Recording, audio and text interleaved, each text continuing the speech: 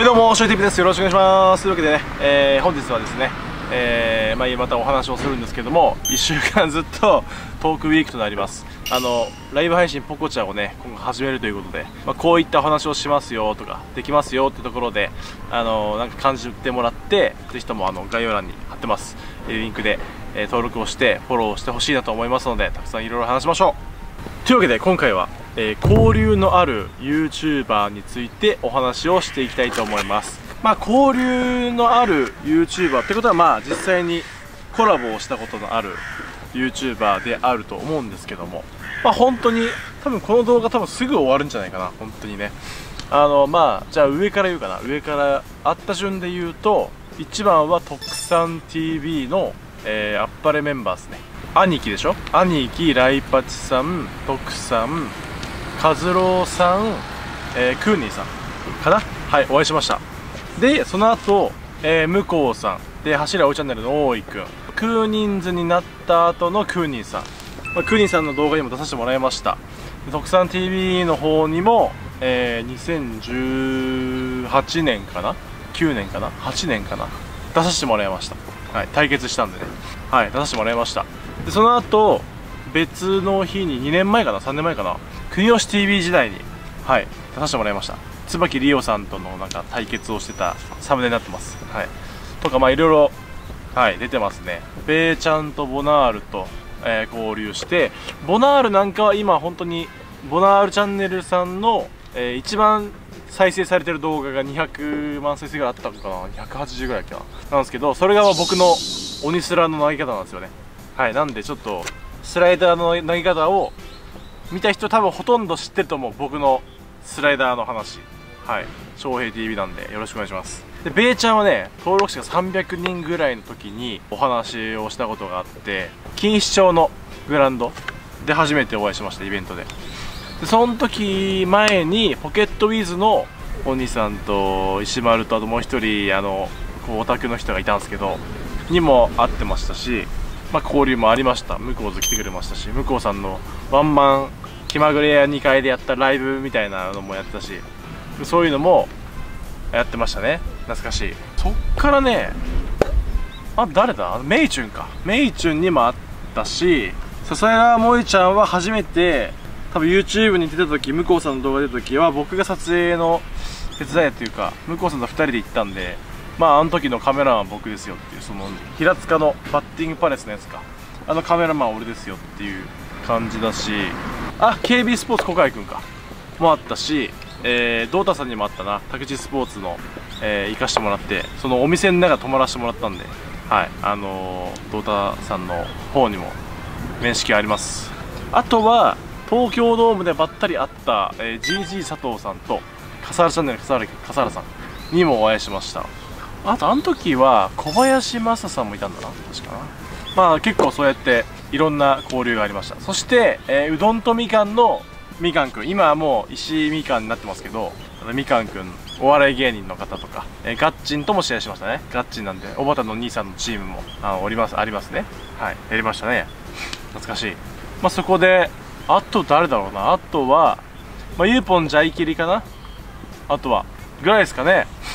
会ったことあるのは撮影したことあるのは。かな。あと誰かいるかな。あとあと岡島さんか。岡島さんも YouTube やってるんで。岡さん岡島さんもノールック岡島さんも交流があります。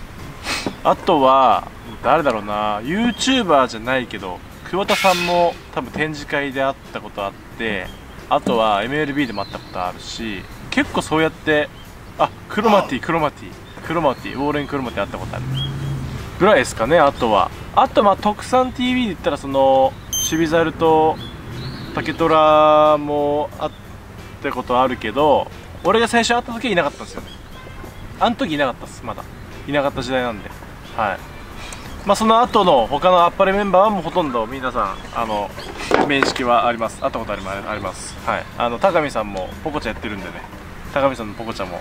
あと椿リオか。椿リオさん会ったことあります。あと YouTuber は誰だろうな。ちょっと YouTuber 思い出せねえなあと。パシキン？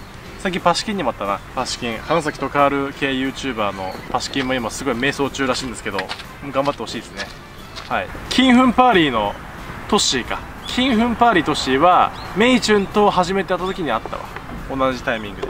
まあ会いました。フォローもしてもらいました。ボナール野球部と試合した関係であの創始ネットの創始さんとかツインズのお二人とかコウさんとヒロムさんとあとマシュルームさんのマシュさんか。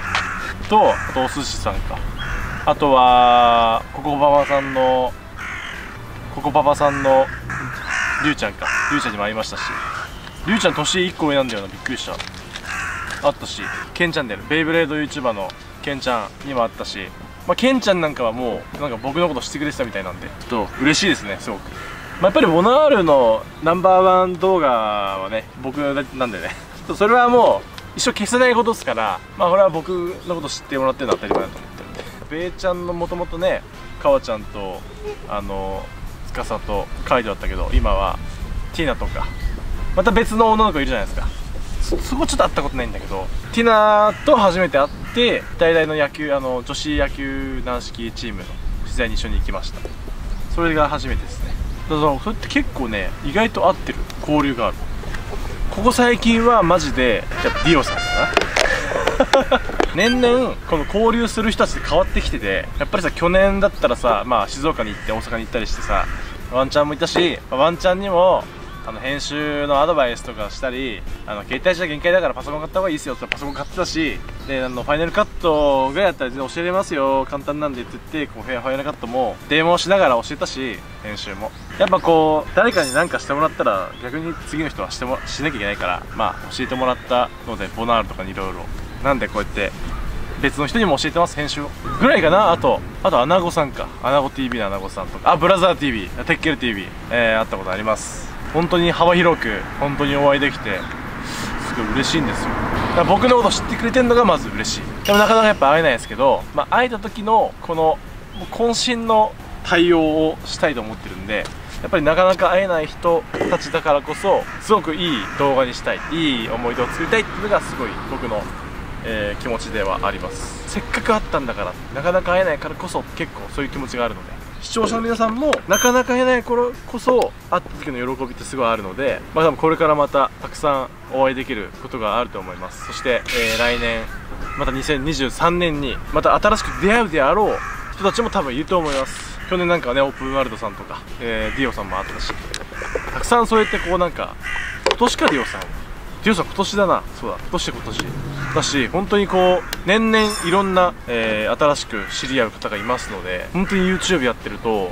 毎年本当にいろんな交流が増えていろんな発見ができてマジ楽しいです。はい。まあ楽しい反面ねもちろんあの編集しなきゃいけないとか動画を撮んなきゃいけないとかなんかいろいろありますよ。そうグランドの日程とかたくさんあるのでねほんと大変ですけどもその中で、まあ、ポコチャっていうのも今後あのライブ配信アプリも始めますしその時間とかも、まあ、ヒロトに編集は頑張ってもらっていろんな視聴者さんを集めるといういろんな人と交流したいっていうのがあるので頑張っていきたいと思いますので今後ともよろしくお願いします。そんな感じで交流がある YouTuber についてのお話をさせてもらいました。多分結構知ってる人はいるんじゃないですか。もうほぼほぼ知ってますよみたいな人いますかね。なんかこの人は知らないですかとかこの人とコラボしてほしいとかそういうのがあればあのぜひともコメントをよろしくお願いします。というわけで、えー、本日の動画は終わります。ぜひとも、えー、ポコちゃんの登録お忘れなくよろしくお願いします。ありがとうございま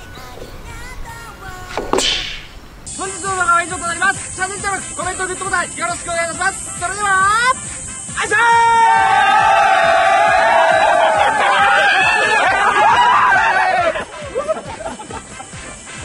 翔平 TV2022 年版 T シャツスウェット販売購入リンクは動画概要欄にあります。チェックよろしく。チャンネル登録1万人突破皆さん本当にありがとうございます。2万人、3万人、4万人と頑張っていきますので、これからもよろしくお願いします。チャンネル登録は必須でお願いします。